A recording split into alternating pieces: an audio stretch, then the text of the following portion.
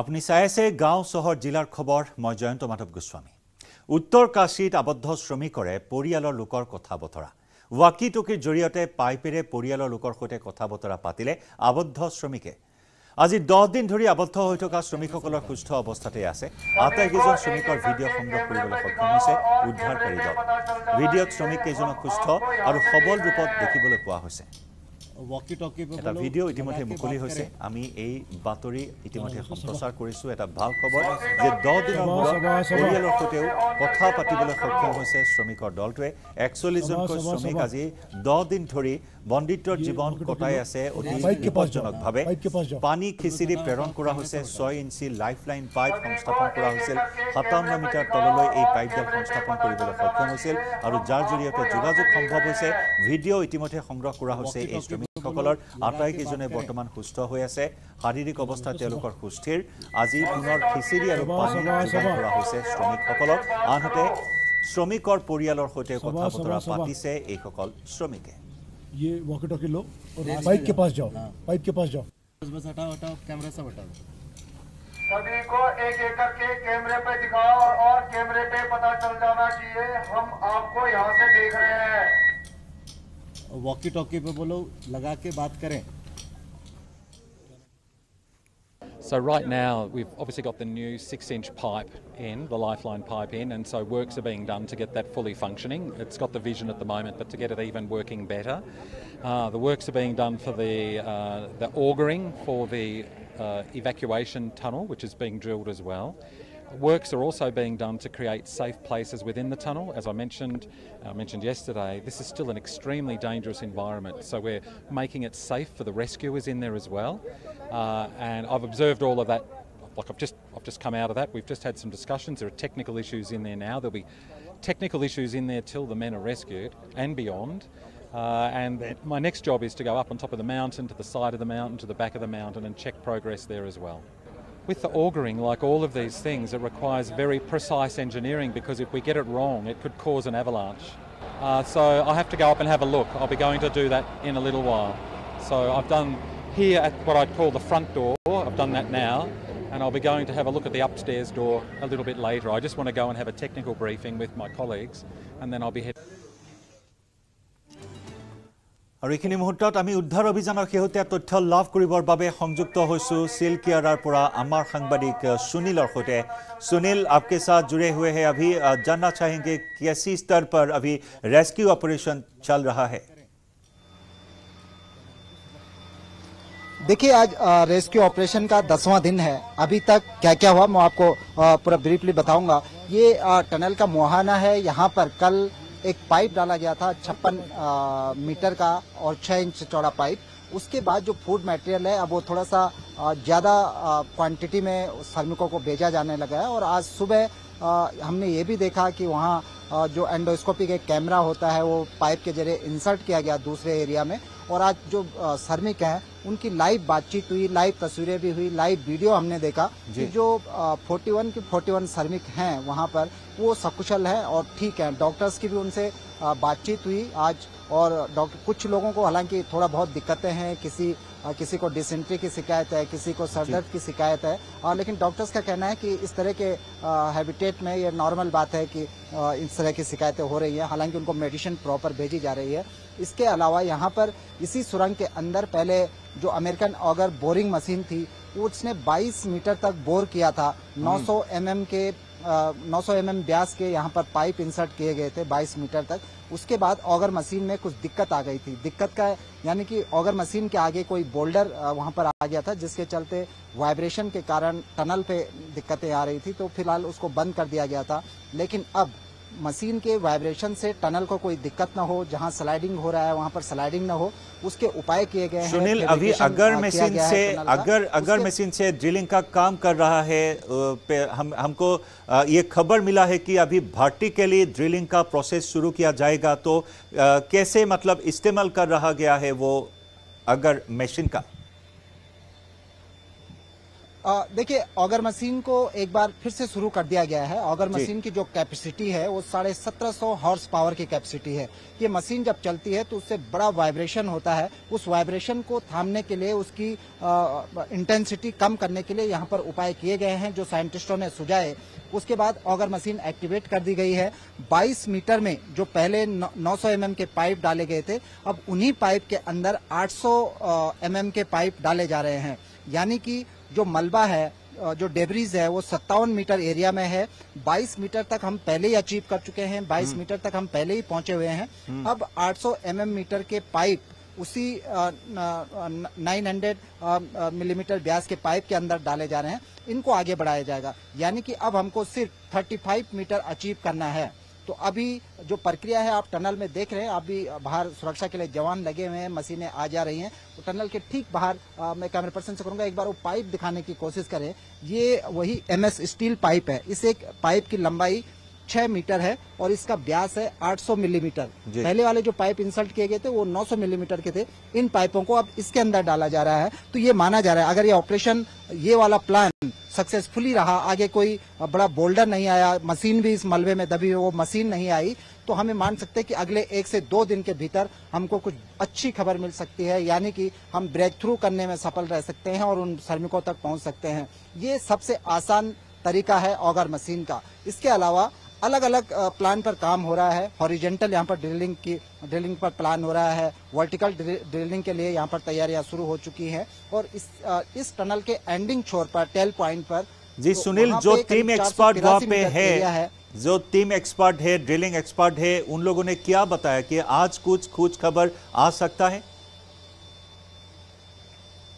देखिए अभी ये चीज़ें बहुत जल्द जल्दबाजी होगा कहना क्योंकि पहली अगर कोई अच्छी खबर तत्काल हमको कुछ मिल सकती है। आने वाले एक दो दिन में दो तीन दिन में। तो सिर्फ़ उसका एक ही तरीका है ऑगर ड्रिलिंग मशीन ये मशीन अगर कामयाब रहती है अभी 22 मीटर तक पाइप इंसर्ट किए जा रहे हैं। अगर ये सक्सेसफुली इंसर्ट होते हैं तो आगे इससे सबसे पहले खबर आने वाली है और उसमें अगर कम से कम दो से तीन दिन का समय आप मानकर चलिए।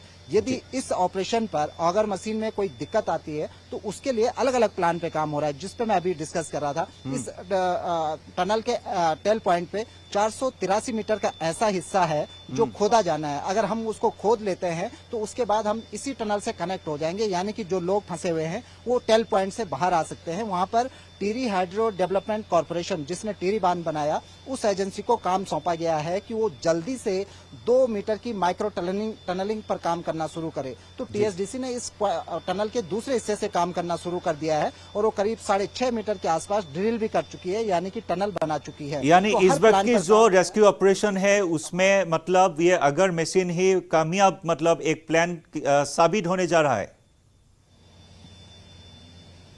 आ, बिल्कुल। आ, ये आप मान सकते हैं कि ऑगर मशीन से सब सबकी उम्मीदें टिकी हुई हैं और ये माना जा रहा है कि ऑगर मशीन ही सबसे पहले अचीव कर लेगी। लेकिन यदि एक प्लान फेल होता है तो यहाँ पे मल्टी डायमेंशनल तरीके से अलग अलग प्लान बनाए गए हैं। वो प्लान अपने एक्टिवेट रहेंगे जिन पर काम भी हो रहा है। इस पहाड़ी के ठीक ऊपर बोरिंग होनी है हॉरिजेंटल भी और वर्टिकल बोरिंग भी। दोनों बोरिंग इस पर होनी है। इसके लिए बाकायदा इस खड़ी पहाड़ी पर सड़क भी बना दी गई है। तो आप लगा सकते हैं कितने गंभीरता के साथ ये पूरा ऑपरेशन चल रहा है। उसी पहाड़ी पर पानी का पाइप भी पहुँचाया गया है क्योंकि जब हॉरिजेंटल ड्रिलिंग होती है तो उसके लिए पानी की आवश्यकता होती है और उसी पहाड़ी पर बिजली का कनेक्शन भी दे दिया गया है। क्योंकि जब बोरिंग मशीन बोर करेगी तो उसको इन तमाम चीज़ों की आवश्यकता होगी। तो वो सब कुछ तैयार है यहाँ पर कंप्लीट हो चुकी है। एक छोटी बोरिंग मशीन यहाँ पर ऑलरेडी पहुँच चुकी है। वो हो सकता है उसने काम करना शुरू कर दिया हो। अभी ब्रीफिंग नहीं हुई प्रशासन की ओर से। लेकिन बाकी जो बड़ी बोरिंग होनी है एक मीटर की डेढ़ मीटर की दो मीटर की बोरिंग उसके लिए नासिक गुजरात अलग अलग जगह से यहाँ पर मशीनें मंगाई जा रही हैं। वो अगले एक से दो दिन में मशीनें यहाँ पर पहुँच जाएँगी। उन मशीनों से पहुँचने से पहले उनके लिए जो बेसिक इंफ्रास्ट्रक्चर डेवलप करना होता है वो यहाँ पर कंप्लीट हो चुका है। जी। बहुत बहुत शुक्रिया सुनील आपको। बहुत बहुत शुक्रिया। रेस्क्यू ऑपरेशन की ये लाइव एंड एक्सक्लूसिव जानकारी हमें देने के लिए आपको बहुत बहुत शुक्रिया আৰু উত্তৰ কাশীত আবদ্ধ শ্ৰমিকৰে পৰিয়ালৰ লোকৰ কথা বতৰা হৈছে। আমি ইতিমধ্যে জনাইছোঁ ৱাকি টকিৰ জৰিয়তে পাইপেৰে পৰিয়ালৰ লোকৰ সৈতে কথা বতৰা পাতিছে পানী খিচিৰি তেওঁলোকক প্ৰদান কৰা হৈছে। এটা ভাল খবৰ যে ইতিমধ্যে আগাৰ মেচিনৰ জৰিয়তে উদ্ধাৰ অভিযান চলাই থকা হৈছে। বাইছ মিটাৰ ইতিমধ্যে ড্ৰিলিঙৰ কাম সম্পন্ন হৈছে যদিও এতিয়াও কিছু বাকী আছে। অতি শীঘ্ৰেই হয়তো দুই তিনি দিনত এই ভাল খবৰ আহিব বুলি আশা প্ৰকাশ কৰিছে আৰু এইখিনি মুহূৰ্তত এই খবৰ এই আপডেট খবৰ আমাক জনাইছে। চিলকিয়াৰাৰ পৰা আমাৰ সাংবাদিক সুনীল।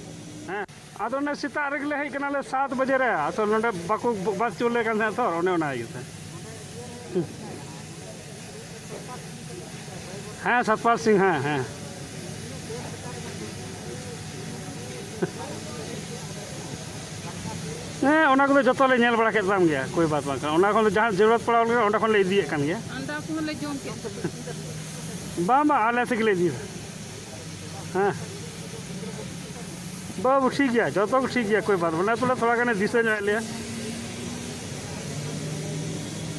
हाँ हाँ हाँ। अच्छा अच्छा। हाँ, ठीक ठीक ठीक, उन्हें कुली है। हाँ मैसे नुए जा सोनिया कथा गलम सफ़ा है, पापू। मौज के इन मा, आमा रिया के मा टेंशन तले रा बड़ा एक आम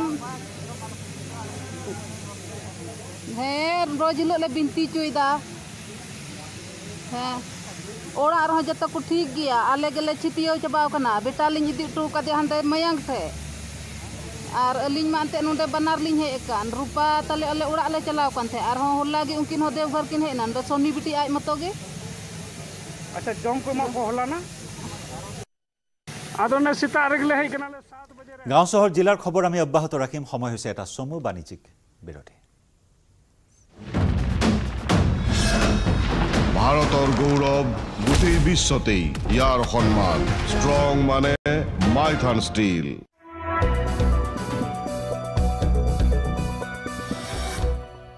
বাতৰিয়া টাইৱান সীমান্ত ঘেৰি লোৱা হয়। টাইৱান সীমান্ত সম্পূৰ্ণৰূপে অৱৰোধ কৰা হয়। সমুদ্ৰ পথত জাহা- জাহাজ তাত মোতায়েন কৰা হয়।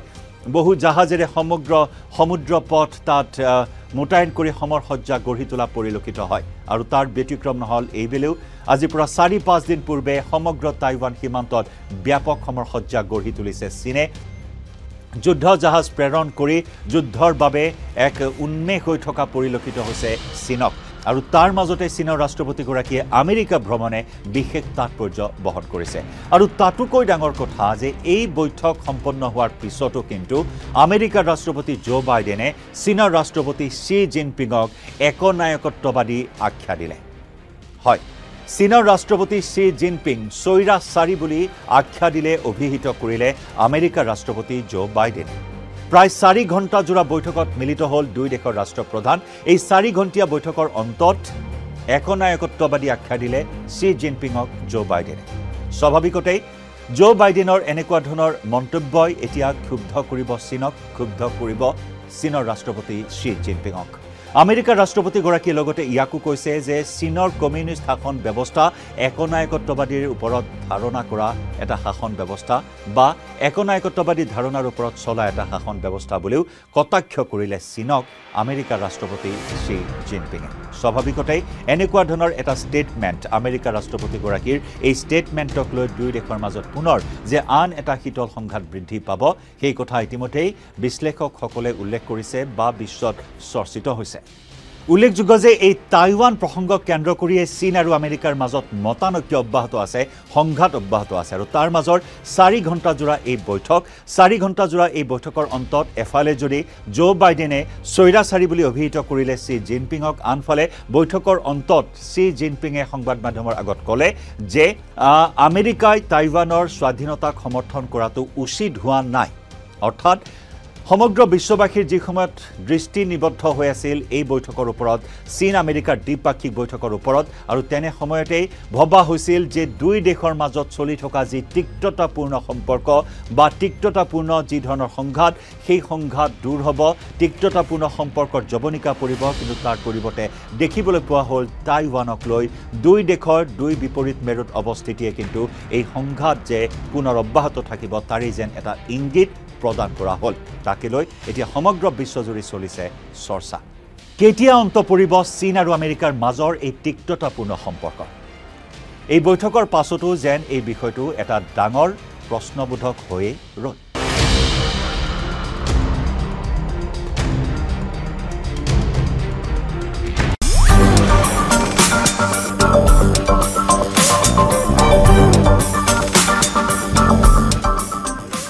ৰবটিক্সৰ ক্ষেত্ৰখনত আপোনাৰ আছে নেকি দখল?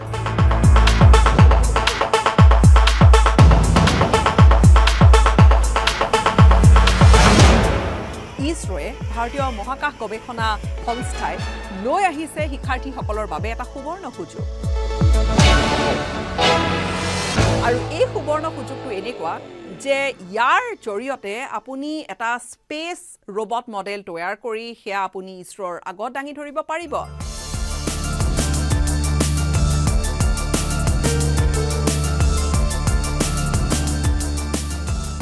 আৰু এই ধৰণৰ এটা প্ৰতিযোগিতাৰ জৰিয়তে বা এই ধৰণৰ এটা অভিযানৰ জৰিয়তে আপুনিও হৈ পৰিব बुलंद इरादों के सफर का सरताज हूँ मैं शहर से गांव तक सड़कों का मोहताज हूँ मैं आ रहा हूँ मैं आसाम की सड़कों पर कुमार इंजीनियरिंग का नया ताज हूँ coming soon Kumar engineering we understand your need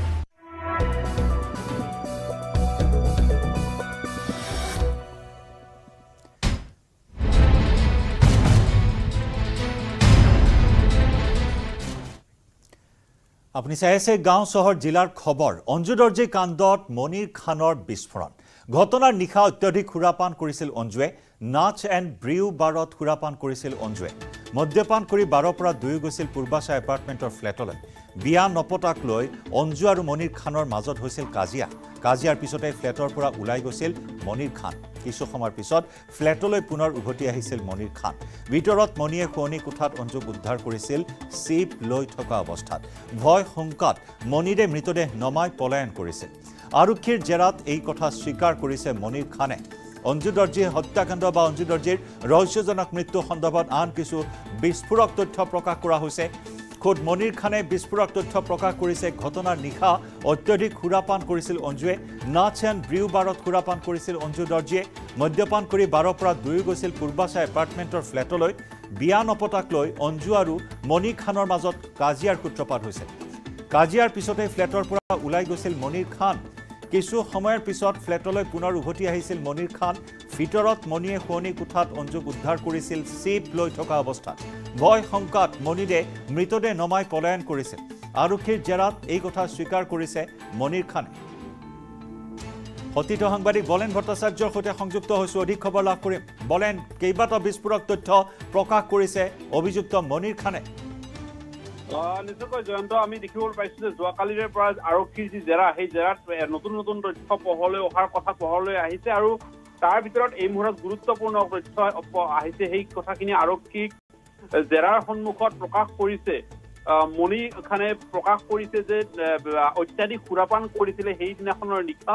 আৰু অত্যাধিক সুৰাপান কৰি সেই ধৰণে আচলতে পূৰ্বাচা এপাৰ্টমেণ্টলৈ তেখেতসকলে উভতি গৈছিলে। আৰু নিশাৰ তেতিয়া যেতিয়া কাজিয়া পেচাল হৈছিলে পুৰাৰ ৰাগীত মাতাল হৈ দুয়োগৰাকীৰ কাজিয়া হৈছিলে আৰু তাৰ পিছত মণি খান ঘৰৰ বাহিৰলৈ ওলাই আহিছিলে। আৰু ঘৰৰ বাহিৰলৈ যেতিয়া ওলাই আহিছিলে তেতিয়াই আচলতে অৰ্জুন অঞ্জু দৰ্জীয়ে অঘটন সংঘটিত কৰিছিলে আত্মহৰণৰ ঘটনা কৰা বুলি তেখেতে দাবী কৰিছে।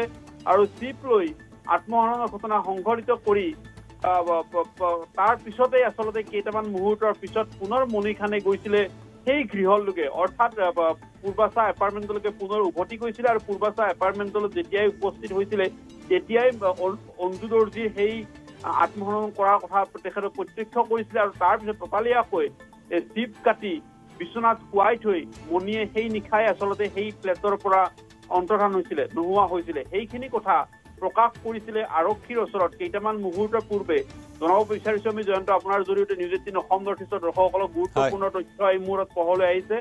আৰু সেইখিনি কথা ইতিমধ্যে আৰক্ষীক প্ৰকাশ কৰিছে কিন্তু এয়া কিমান দূৰ সত্য সেয়া হয়তো পৰৱৰ্তী সময়ছোৱাত লক্ষণীয় হ'ব কাৰণ আৰক্ষীক যি ধৰণে ভাষ্য আগবঢ়াইছে সেই ভাষ্যৰ ভিত্তিত এটাৰ পিছত আনটো বিস্ফোৰক ভাষ্য আগবঢ়াইছে আৰক্ষীৰ জেৰাত আজি আদালতত হাজিৰ কৰাৰ পিছত জিম্মাত ল'ব কি তথ্য প্ৰকাশ পায় সেয়া লক্ষণীয় হ'ব। বলেন ধন্যবাদ জ্ঞাপন কৰিছোঁ এই মুহূৰ্তত। গাঁও চহৰ জিলাৰ খবৰৰ পৰৱৰ্তী অংশলৈ যোৱাৰ পূৰ্বে লৈছোঁ আন এটি বাণিজ্যিক বিৰতি।